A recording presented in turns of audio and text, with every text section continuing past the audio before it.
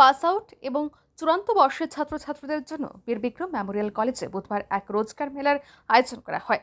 রাজ্য সরকার স্কিল ডেভেলপমেন্টের দপ্তরের সহযোগিতায় কলেজের ক্যাম্পাসে এই রোজগার মেলা অনুষ্ঠিত হয়।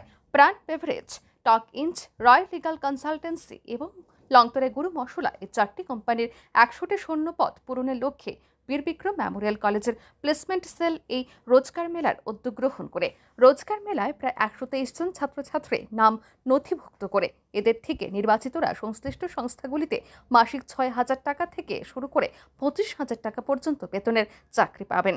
এই দিন এই রোজগার মেলার উদ্বোধন করেন বীরবিক্রম মেমোরিয়াল কলেজের অধ্যক্ষ ডক্টর রতন দেব। রোজগার মেলায় উপস্থিত ছিলেন বীর বিক্রম মেমোরিয়াল কলেজের প্লেসমেন্ট সেলের কোঅর্ডিনেটর ডক্টর বাসুদেব ভট্টাচার্য, কলেজের টিচার্স কাউন্সিলের সম্পাদক ডক্টর অভিজিৎ ভট্টাচার্য সহ অন্যান্যরা।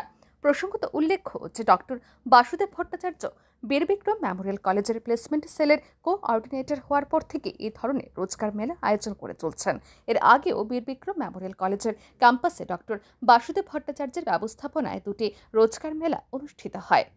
we report our news.